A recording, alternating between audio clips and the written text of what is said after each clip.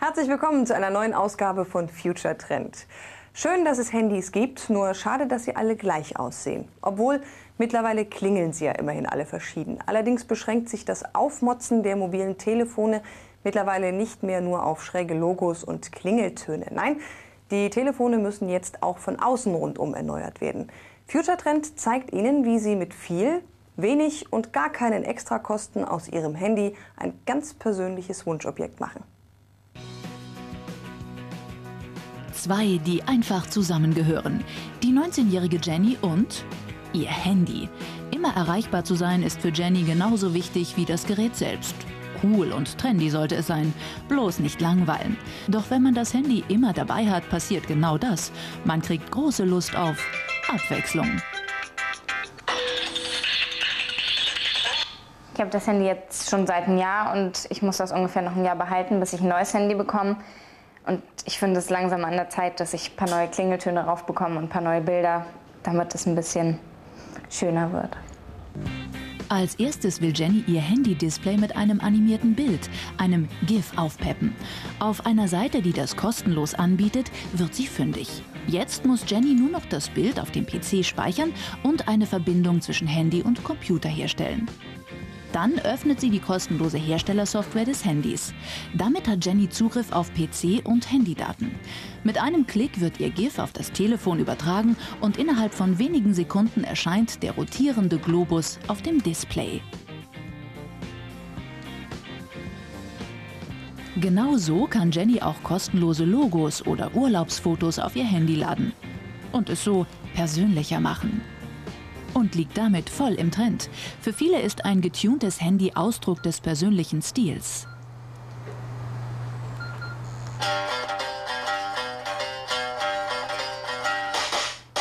Und so ein Handy ist nun mal ein Lifestyle-Produkt und jeder möchte natürlich, dass es äh, dem eigenen Geschmack möglichst gut entspricht. Äh, man muss einfach auch mal nach Asien schauen, wo dieser Trend schon viel weiter fortgeschritten ist. Dort gibt es eigentlich überhaupt keine Handys mehr, wie wir sie jetzt im Laden kaufen, sondern da hängt eigentlich überall was dran und ist geschmückt mit Federn, äh, Perlen und solchen Dingen. Also die sehen eigentlich wirklich äh, schon sehr witzig aus.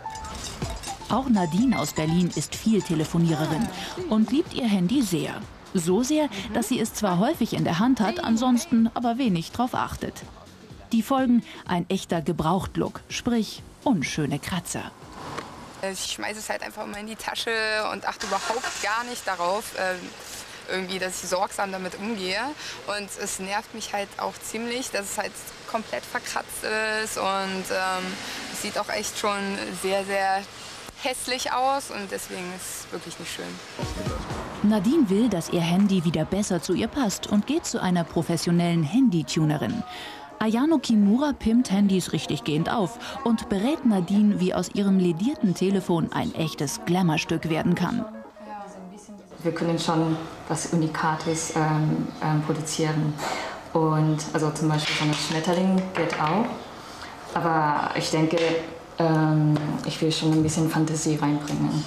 Und also ich will einfach verschiedene Farben vorstellen. Ayano und Nadine einigen sich auf ein Schmetterlingsdesign.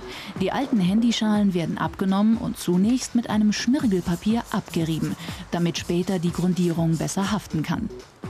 Mit einer speziellen Lösung entfettet die Designerin anschließend die Handyschale.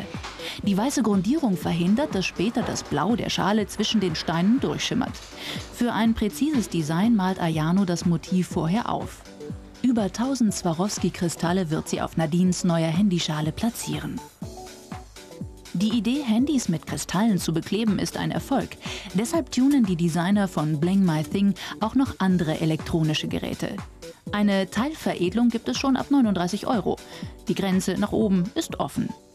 Hier haben wir zum Beispiel jetzt Nokia 8800 so ganz klassisch gemacht, äh, weil es ja sowieso ein klassisches Handy ist, einfach in der Gold Edition äh, veredelt. Und dann ging es auch los mit, mit iPods. Das äh, war auch von Anfang an ein sehr gefragtes Thema bei den Leuten.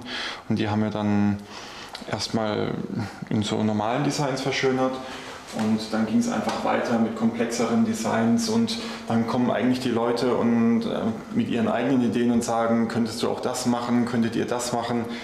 Dann war zum Beispiel PSP, PlayStation, äh, wollten die Kunden auf der Rückseite komplett veredelt haben. Inzwischen ist Designerin Ayano mit Nadines Handyschale fertig geworden. Einen Tag braucht die Designerin für ein Gerät dieser Größe. Kostenpunkt ca. 200 Euro. Dafür bekommt Nadine auch ein Jahr Garantie auf die neuen Schalen. Falls sich Steine lösen sollten, werden sie kostenlos ersetzt. Die Studentin ist von ihrem Glitzerteil begeistert. Ja, super. Ich bin sehr zufrieden. Es hält alles wunderbar.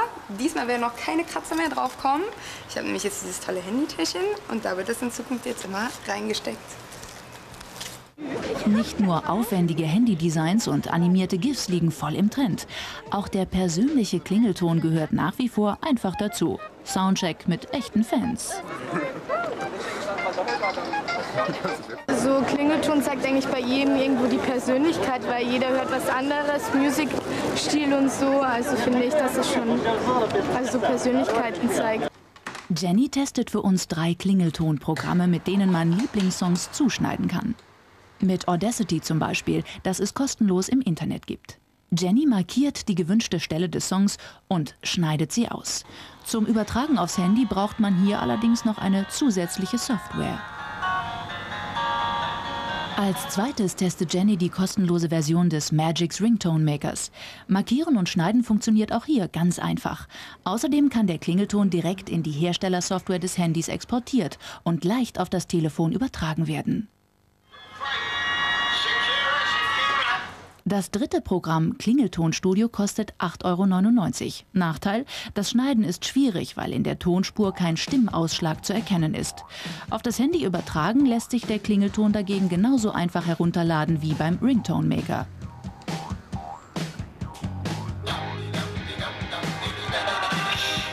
Der Ringtone Maker hat mir am besten gefallen. Ähm, zunächst einmal, weil er nichts kostet. Das Zurechtschneiden des Songs war mit am einfachsten und ähm, es war am einfachsten, das Lied aufs Handy raufzuladen. Mit animierten GIFs, Fotos und neuen Klingeltönen, das alte Handy ist wie neu. Und ein Schnäppchen. Immerhin hat das Tuning 0 Cent gekostet. Wohin mit Waldi, wenn es in den Urlaub geht? An der Autobahnraststätte fühlt er sich bestimmt wohl. Was geht Leuten durch den Kopf, die Jahr für Jahr ihre Tiere während der Urlaubszeit aussetzen? Im vergangenen Jahr landeten 70.000 Haustiere im Heim. Vier von fünf wurden ausgesetzt. Wir waren mit Tierrettern unterwegs und haben vier- und achtbeinige zurückgelassene Lieblinge gefunden. Wenn Heiko Nauschütz und Thomas Reifschläger das Gebäude in der Hamburger Süderstraße verlassen, ist irgendwo ein Tier in Not. Und gerade jetzt zur Ferienzeit ist das besonders häufig der Fall. Zurzeit fahren die sogenannten Struppi-Wagen bis zu 30 Mal täglich. Nauschütz, hallo? Ja, hallo, ich habe für euch hier noch einen Einsatz. Ja. Und zwar ist das auf dem Kurslacker Deich, da soll ein angebundener Hund sein. Könnt ihr da mal gucken? Ja. In Ordnung, wir fahren vorbei und ja, wenn das denn so ist, werden wir den und angeblich angebunden. Ja, dann werden wir ihn mitbringen. Okay, prima. Gut, bis später. Bis später. Tschüss. Tatsächlich, das Sorgenkind wartet schon. Ja, hey, hallo, Süßer. Ja, das wird er wohl sagen. Hey, das ist er doch. Süßer. Das ist ein bisschen, ein bisschen ja? ne? Erst anbinden, dann abhauen. Ein feiger Abschied. Vielleicht schämt man sich halt dafür, dass man den Hund jetzt nicht mehr versorgen kann. Soziale Probleme, Arbeitslosigkeit, es gibt so viele Möglichkeiten. Auf jeden Fall, die Besitzer gehen nicht den Schritt, um ihn fair ähm, zu behandeln und ihn abzugeben einfach. Ne? Steigert sich denn das? Merken Sie das? Soziale Sachen, also dass man es wirklich nicht mehr halten kann? Seit Hartz IV ist es auf jeden Fall extrem angestiegen. Jetzt in der Urlaubszeit, wie schon erwähnt, ist es ganz viel, ja. Ein Trend, den auch das Tierheim Berlin zu spüren bekommt. Mit einer Auslastung von 160 Prozent sind die Kapazitäten mehr als erschöpft. Zumal kaum noch Abgänge zu verzeichnen sind. Wer ein Tier sucht, tut dies erst nach den Ferien. Stattdessen kommen täglich neue Opfer dazu, oft mit bemühten Begründungen. Wie bei Rocco, dem vermeintlich gefährlichen Cocker Spaniel. Warum müssen Sie den Hund abgeben? Weil er mit der Zeit bissiger geworden ist gegen andere Hunde und gegen Kinder jetzt auch auf der Straße. Und es tut mir sehr leid, aber wir müssen den wieder abgeben nach vier Monaten. Fahren Sie jetzt Urlaub? Nee, wir fahren jetzt nicht in Urlaub. Also, das ist bestimmt nicht der Grund, denn wir hätten uns mit ihm ein, ein, ein, wenn wir wegfahren würden, hätten wir uns mit dem Hund etwas gesucht, wo man einen Hund mit hinnehmen kann. Solche und ähnliche Gründe hört Veterinär Hans-Jürgen Neitzel immer wieder. Im Hamburger Tierheim untersucht er die Neuzugänge.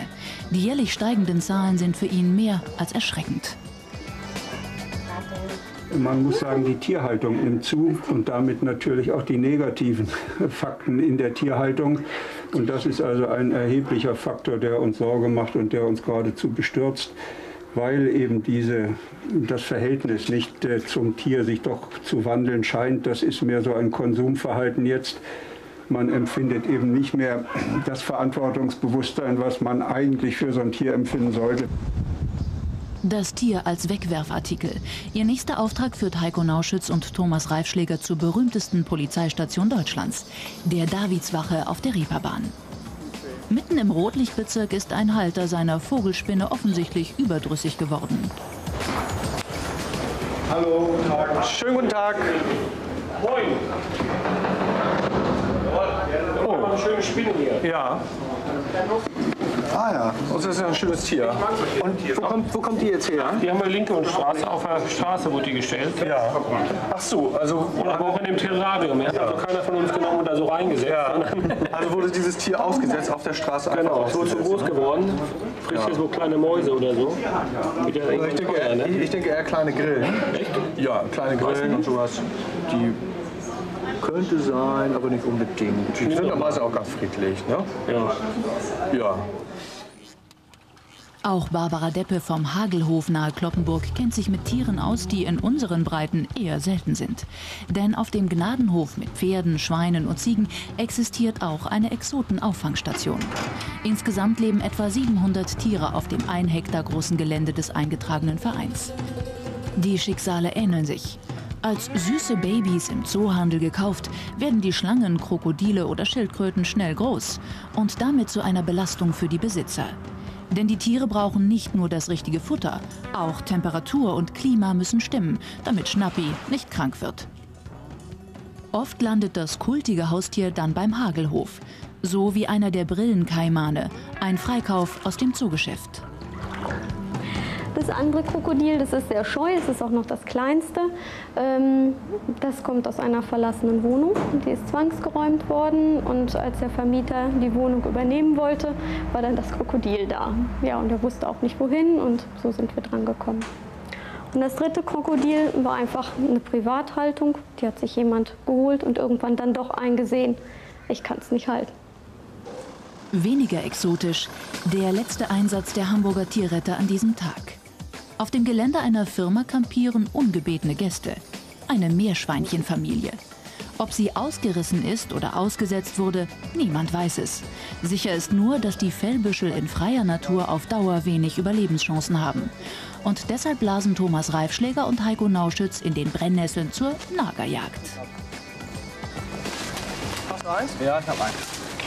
Ah, passt. Das war klar.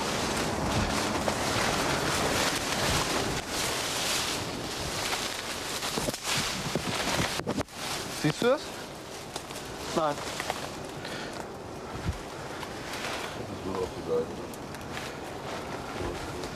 Ja.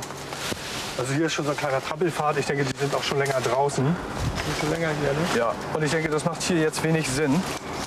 Ich denke, wir werden wiederkommen und äh, Fallen aufschlagen. Ja.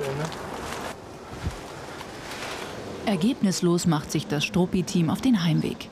Die Männer haben heute fünf Tiere geborgen. Fünf von 70.000, die jedes Jahr ausgesetzt werden. Alles Lebewesen, die auf ein neues Zuhause hoffen. Doch das kann viele Wochen lang dauern. Einige Tiere, die natürlich äh, jung und äh, gut gepflegt sind, die gehen natürlich viel schneller weg, werden viel schneller vermittelt als Tiere, die jetzt äh, natürlich ein bisschen älter sind. Die sitzen vielleicht auch ein bisschen länger bei uns. Aber wir sind ja immer sehr bemüht, äh, die möglichst schnell zu vermitteln und die äh, Haushalte, wo die Tiere hingehen, werden auch wirklich vorher überprüft. Alles, damit die vermittelten Tiere nicht wieder an dem Ort landen, der an diesem Tag für sie zu ihrer Rettung geworden ist. Morgens, so kurz nach dem Aufstehen, bin ich ungefähr 60 Jahre alt. Nach dem ersten Kaffee dann schon 40 und nach der Dusche und der Restauration vor dem Spiegel nähere ich mich dann meinem tatsächlichen Alter von 30 Jahren. Man ist so alt, wie man sich fühlt. Das wissen Altersforscher mittlerweile. Und schwedische Forscher haben sogar herausgefunden, dass jedes Körperteil unterschiedlich altert. Wir zeigen Ihnen deshalb, wie Sie Ihr richtiges Alter ermitteln können. Man ist so alt, wie man sich fühlt. Bettina Knabenschuh ist schwanger, bereits zweifache Mutter und 40 Jahre alt und fühlt sich eigentlich jung. Ich denke, jetzt im Moment ist es eher noch ähm, sehr anstrengend, aber ich glaube, langfristig ist es sicher was, was einen fit geistig auch hält, weil man ja immer neuen Anforderungen gewachsen sein muss. Also ich glaube, langfristig wirken sich Kinder durchaus positiv aus. Halten Kinder einen nicht nur auf Trab, sondern auch jung? Bettina Knabenschuh macht für uns einen Test, der ihr wahres Alter ermitteln soll. In elf verschiedenen Einzeltests prüft Dr. Wilfried Bieger die Körperfunktionen. Gehör, Sehvermögen, Lungenvolumen, Gedächtnis und einzelne Muskelpartien. Die Ergebnisse der Probandin werden mit Durchschnittswerten im Age-Scan-Computer verglichen. Bettina Knabenschuh, laut Pass 40 Jahre alt, ist tatsächlich sechs Jahre älter. Erstmal ist es so ein bisschen ein Schock, ähm, weil man sich noch für relativ jung einfach hält, weil man ja so seinen ganzen Anforderungen immer täglich gerecht wird. Und ähm, man muss dann auch wirklich überlegen, wo liegen die Schwächen. Frau Knabenschuh würde ich äh, nach den Ergebnissen, nach der Anamnese, die ich von ihr habe, empfehlen, erstens, soweit es möglich ist, äh, Stress im häuslichen Umfeld zu reduzieren. Erholungsphasen einzuschalten. Unsere zweite Testperson, Thomas Briegel, Single, Geschäftsführer und 37 Jahre alt oder auch nicht. Sein Motto Fit Forever. Er treibt regelmäßig Sport, Radfahren, Laufen, Schwimmen, Surfen, Hobbys, die den Puls auf Touren bringen. Also ich mache sehr lange, sehr gerne Sport, zwei bis dreimal die Woche. Gehe Mountainbiken, laufen oder im Winter ins Fitnessstudio oder im Sommer surfen. Also ich denke, dass ich körperlich recht fit bin. Ich würde mich jetzt mal biologisch vielleicht zwei, drei Jahre jünger fühlen, als ich kalendarisch bin. Der Alterscheck am Fitnessterminal Own Zone folgt der Zauberformel, je fitter, desto jünger. Gedächtnisleistungen werden hier nicht abgefragt. Kann man dem Älterwerden tatsächlich so einfach davon radeln, laufen oder schwimmen? Komm, kämpf, Thomas. Komm, komm, komm, komm, komm, komm, komm, komm, komm, komm. Am Ende werden die Leistungswerte von Thomas Briegel im Computer gespeichert. Noch 35 Sekunden aushalten. Dann werden sie mit denen tausender ausgewerteter Fitnessbiografien verglichen. Die ganzen Werte sind in diesen Computer eingeflossen. Er hat es verrechnet, verglichen mit den Referenzdaten aus den Probandengruppen. Und der Teilnehmer, der Tom, kriegt hier halt einen, einen Ausdruck, einen speziellen, wo seine, sein persönliches Profil aufgelistet ist. Unser Proband ist hier kalendarisch 37, aber aufgrund seiner sportlichen Vorerfahrung und seines regelmäßigen Trainings kam raus, dass er 31 Jahre alt ist. Also ich war überrascht von dem Ergebnis. Ich hatte ja erwartet, dass ich vielleicht biologisch zwei bis drei Jahre jünger bin. Ähm, dass es jetzt tatsächlich sechs Jahre sind, ist für mich natürlich sehr angenehm und auch eine Bestätigung äh, meiner sportlichen Tätigkeit. Doch jung bleiben ist mehr als nur körperliche Fitness. Das weiß auch Professor Martin Halle, einer der renommiertesten Altersforscher Deutschlands. Wobei regelmäßiger Sport durchaus einer der wichtigsten Bausteine der Anti-Aging-Bewegung ist. Meines Erachtens ist ganz wichtig, dass man sich bewegt. Regelmäßig, immer wieder. Und zusätzlich dazu kommt noch eine gesunde Ernährung, die mit viel Obst und Gemüse ausgerichtet ist. Und hinsichtlich Stressbewältigung. Man sollte eben darauf achten, dass man eben nicht zu viel Stress hat. Für dauerhafte Fitness müssen viele Faktoren stimmen. Gute Ernährung, Vitamine sind natürlicher Rohstoff gegen das Alter. Gute Beziehungen, Familie und Freunde sind ebenso wichtig. Regelmäßiger Sport und stressfreies Arbeiten sorgen zusätzlich für gute Karten im Kampf um die Restlaufzeit der biologischen Uhr. Man kann sehr viel aufholen, das weiß man auch aus großen Studien, dass selbst noch 70-Jährige, die noch anfangen, Sport zu treiben, ihren Lebensstil umzustellen, dass die sogar noch einen Gewinn haben. Jung durch junge Partner, ein beliebtes Modell individueller Verjüngungskuren, die vor allem von älteren Männern favorisiert werden. Mit Erfolg? Ich glaube, es ist weniger, dass man sich jetzt so eine, einer jüngeren Person ähm, zuwendet und damit halt für sich den Jungbrunnen äh, da erwartet, sondern dass man vielleicht auch noch mal ähm, sein Leben umstellen möchte. Zweite These, machen Kinder jung? Auch hier zählt der Stressfaktor. Wenn man den Nachwuchs als Bereicherung empfindet, hält er die Eltern durchaus fit. Da hochklettern. Man weiß auch, dass äh, glücklich verheiratet in der, in der Ehe, dass äh, Kinder, dass ähm, auch so in Freundeskreisen enger, dass das auch dieses sogenannte biologische Alter beeinflussen kann. Jung sein heißt auch, sich pausenlos anzupassen, das Leben zu verändern. Bettina Knabenschuh will sich deshalb ab und zu eine Auszeit nehmen. Also ich glaube schon, dass mich meine Kinder jung halten, aber ich denke, man muss trotzdem mal schauen, wo man eigentlich steht, weil mit, mit diesen ganzen ähm, ja, Kinderprogrammen und diesen permanenten Anforderungen hat man auch so wenig Zeit für sich selber, dass man da vielleicht auch was verschläft unter Umständen und man sollte schon sich vorher damit befassen, bevor es dann zu spät ist. Vielleicht wird sie wieder ein paar Jahre wettmachen können. Ansonsten helfen gegen das Alter keine Patentrezepte. Es ist ja auch keine Krankheit. Und gleich geht's bei uns mit diesem Thema weiter. Nicht ohne meinen Fernseher. Die neuen Handymodelle zur IFA.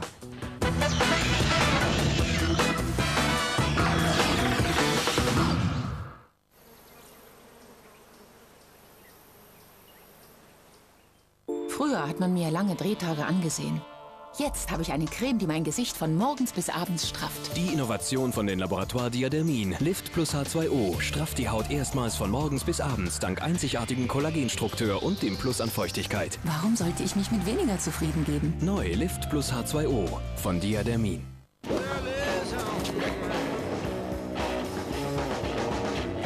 Das neue Cybershot-Handy K800i für den perfekten Moment. Am Zahnfleischsaum sammelt sich bakterielle Plaque bevorzugt an. Das kann zu Zahnfleischentzündungen und Bluten führen.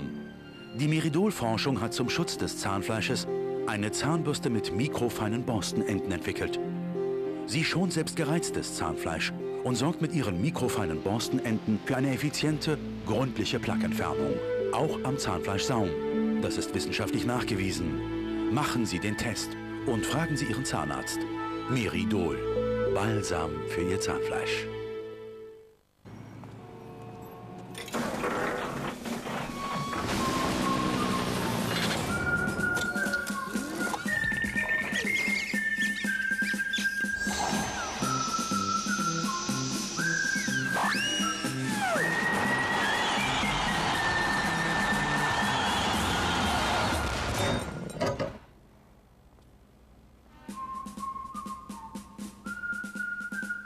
Live on the Coke side of life.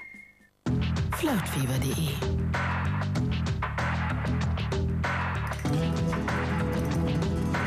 Mein Name ist Don Juan. Ich bin der größte Liebhaber aller Zeiten. Heute würde ich online gehen. Flirtfieber.de Flirten, chatten, daten. Manchmal genieße ich es, im Mittelpunkt zu stehen. Aber manchmal brauche ich auch meine Auszeit. Mit Gala Kaffee. Dem einzigen mit der Edusho Einzelröstung. Und die schmeckt man auch. Genieße deine Gala. 100 Bürstenstriche pro Tag. Ihr Haar braucht Kraft, um das zu überstehen. Entdecken Sie das neue Fructis Shampoo. Noch nie war Fructis so kräftigend. Die neueste Formeltechnologie mit Aktivfruchtkonzentrat versorgt das Haar mit den wichtigsten Nährstoffen. Es ist bewiesen.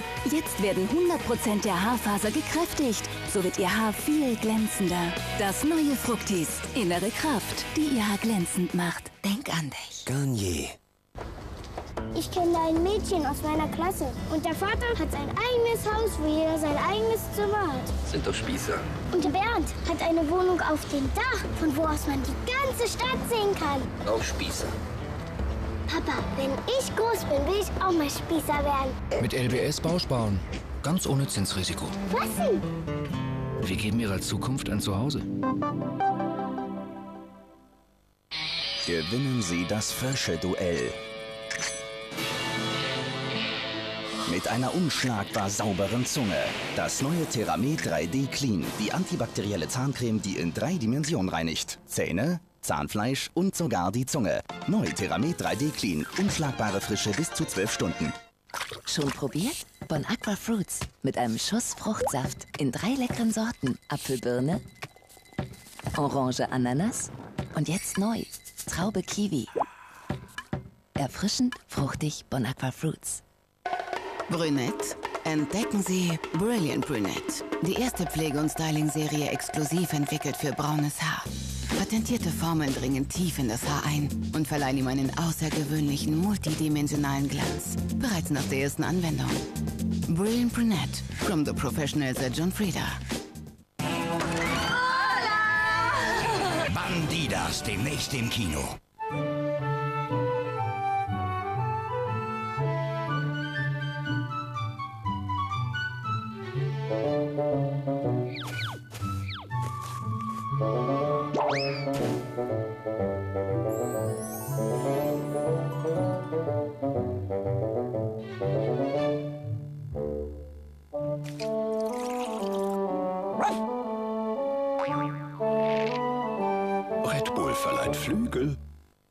Sie ein makelloses Make-up, das gut zu Ihrer Haut ist? Die Lösung. Wasser ersetzt Öl. Neu Pure, das erste ölfreie Gel-Make-up von Maybelline Jade. Mit mehr als 50% purem Wasser. Ihre Haut sieht ebenmäßig aus. Glanzfrei, kein Verstopfen der Poren. Neu Pure Make-up. Jetzt im Gesichtspflegeregal. Ich fühle mich schön mit Maybelline Jade.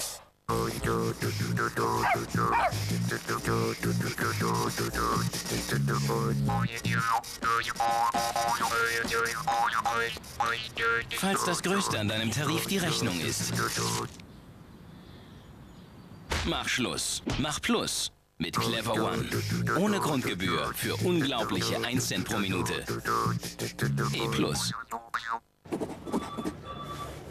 Manche Altersvorsorge engt sie finanziell ein. Wie ein Klotz am Bein. Besser? Gotha Variorent Plus.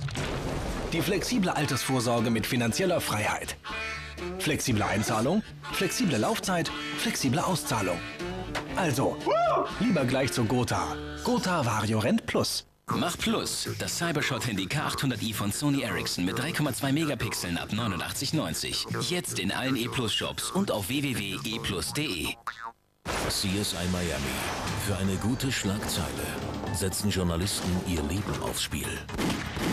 Das Opfer hat zwei Kugeln durch die Tür abgekriegt. Da frage ich mich, warum Sie nicht getroffen worden sind. Für wen halten Sie mich? Für einen Mann, der für eine Story alles tut. Ist eine Kollegin Eindeutig Blut. seinen fingierten Geschichten auf die Schliche gekommen. Amy, du musst ein Handy aufspüren. Benutzt das GPS. Elfte Straße. CSI Miami. Morgen 20.15 Uhr. 18 Uhr. Es ist Zeit, sich schlau zu machen. Eine gute Stunde voller Information. Kompakt, vielseitig, aktuell. Für alle, die schon früher Bescheid wissen wollen. Explosiv, jetzt auf einem neuen Sendeplatz, schon um 18 Uhr.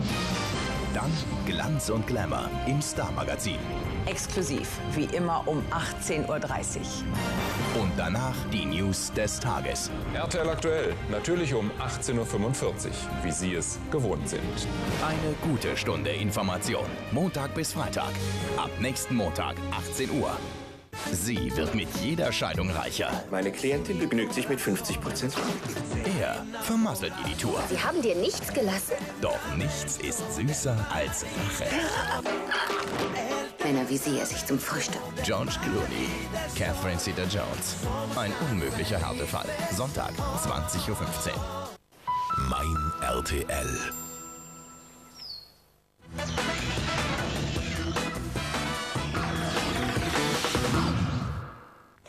Folgende Situation auf der WM-Fanmeile in Berlin. Deutschland schießt ein Tor und eine halbe Million Menschen jubeln. Nur einer. Der jubelt ungefähr eine Minute später. Er hatte mangels Sicht das Fußballspiel auf seinem Handy verfolgt. Ein TV-Handy. Schon schön. Nur wohl ein bisschen langsam. Doch im September zur IFA kommen die neuen Modelle und wir haben die Prototypen der führenden Hersteller für Sie schon mal getestet. Fernsehen, eine Lieblingsbeschäftigung der Deutschen. Telefonieren ebenso. Was also wird erst passieren, wenn beides mit einem Gerät möglich wird? Man wird wahrscheinlich noch häufiger beim Fernsehen telefonieren. Vorausgesetzt, man hat nichts gegen Kleinformate. Voraussetzung Nummer zwei, man muss ein TV-fähiges Handy besitzen. Und welcher Standard darf es da sein?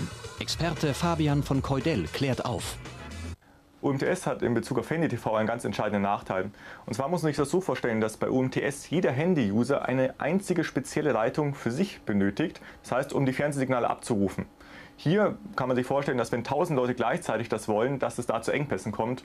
Und deswegen ist UMTS für Handy-TV eigentlich nicht geeignet. DMB und DVB-H sind speziell für Handy-TV entwickelt worden. Das Programm wird hier durch Funkwellen übertragen. Die Nutzerzahl ist egal. Momentan sendet DMB nur in Großstädten. DVB-H ist noch in der Testphase. Apropos Test. Wir wollen drei neue TV-fähige Handys auf Bedienerfreundlichkeit hin untersuchen. Das erste Gerät ist das Nokia 6280, ein UMTS-Handy, das ohne Vertrag rund 420 Euro kostet. Für die TV-Nutzung sind 7,5 Euro pro Monat einzuplanen. Fazit beim UMTS-Handy von Nokia ist, ähm, dass es so ein schönes, solides Gerät ist. Ähm, fürs Handy-TV finde ich es jetzt nicht so geeignet. Es hat lange Ladezeiten. Man braucht lange, bis man im Menü wirklich beim Handy-TV ist. Und auch das Bild fand ich nicht wirklich überzeugend. Das Samsung SGH P900 ist unser DMB-Handy im Test. Das Gerät kostet mit Vertrag ca. 200 Euro. Ohne sind stolze 600 Euro auf den Tisch zu legen. Mein Fazit zum DMB-Handy von Samsung ist, ähm, alles in einem ein sehr nettes Gerät, hat leider nur fünf Sender. Schön ist, dass man das Gesehene abspeichern kann. Vielleicht ist es schon in zwei Jahren überholt, aber bis dahin auf jeden Fall ein schönes Gerät. Unser letztes Testgerät ist das Sage My Mobile TV, ein DVB-H-Handy. Kaufen kann man es voraussichtlich Mitte 2007. Dann wird auch DVB-H erst die Marktreife erlangt haben. Mein Fazit zum DVB-H-Handy von Sagem ist, dass es wirklich zum Fernsehgucken auf dem Handy das Beste ist. Man kann zappen, man hat viele Programme, das Bild ist gestochen scharf. Es gibt es noch nicht im Handel und vielleicht kann man noch was am Design machen. Noch gibt es viele Fragen beim Handy-TV. Etwa, welcher Standard sich durchsetzen wird. Doch schon 2008 sollen 75 Prozent der Deutschen mobil fernsehen können, wo immer sie wollen. Das war Future Trend für heute. Hier geht es jetzt weiter mit den Kollegen vom Nachtjournal und den aktuellen Themen des Tages. Wir sehen uns, wenn Sie wollen, in drei Wochen wieder. Bis dahin. Tschüss.